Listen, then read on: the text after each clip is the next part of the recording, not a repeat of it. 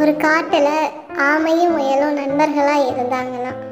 இந்த முயலுக்கு எப்போவுமே தான் தான் பலசாலி அப்படிங்கிற எண்ணம் இருந்தது. இதை எப்படியாவது ஆமைக்கு நிரூபிக்கணும் அப்படின்னு யோசிச்சு இதை ஒரு போட்டிக்கு கூப்பிடலாம் அப்படின்னு யோசிச்சது. எப்படியும் ஆமையால் வேகமாக ஓட முடியாது. நாம் ஈஸியாக அந்த போட்டியில் ஜெயிச்சிடலாம். அது மூலமாக நம்ம பலத்தை நிரூபிச்சிடலாம் அப்படின்னு யோசிச்சு அதை ஒரு போட்டிக்கு கூப்பிட்டுச்சு. அந்த ஆமையும் முயலோட குணத்தை தெரிஞ்சுக்கிட்டு கொஞ்சம் யோசிச்சு சரி வச்சுக்கலாம் அப்படின்னு சொல்லி சொன்னது. ரெண்டு பேரும் பேசி மறுநாள் போட்டி வச்சுக்கலாம் அப்படின்னு முடிவெடுத்தாங்க ரெண்டு பேரும் மறுநாள் போட்டி நடக்கிற இடத்துக்கு வந்தாங்க. ரேஸும் ஆரம்பமாச்சு. ஆரம்பத்திலேயே முயல் ரொம்ப வேகமாக ஓட ஆரம்பிச்சது. நாம ரொம்ப பொறுமையாக நடந்தது. முயலுக்கு ரொம்ப சந்தோஷம். எப்படி நாம் இன்னைக்கு ஜெயிச்சிருவோம் அப்படிங்கிற நம்பிக்கையிலே ஓடிட்டு இருந்தது. ஆனால் ஆமையும் எதை பற்றி யோசிக்காமல் பொறுமையாக நடந்து வந்தது.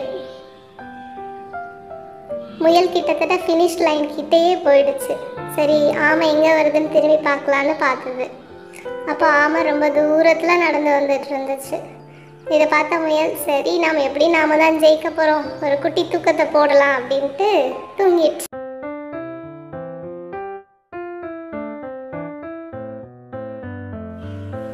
ஆனால் ஆமைங்க ரொம்ப பொறுமையாக நடந்து வந்துட்டு இருந்துச்சு. முயல் கிட்டத்தட்ட ஆழ்ந்த தூக்கத்துக்கே போயிடுச்சு. ஆமா பொறுமையா அதை கடந்து வந்தது.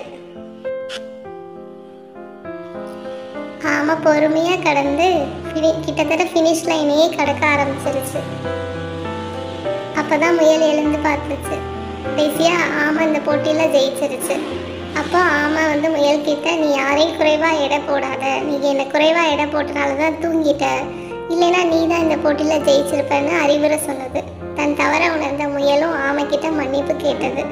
மறுபடியும் இருவரும் நண்பர்களாகவே இருந்தாங்க. Please like and subscribe for more videos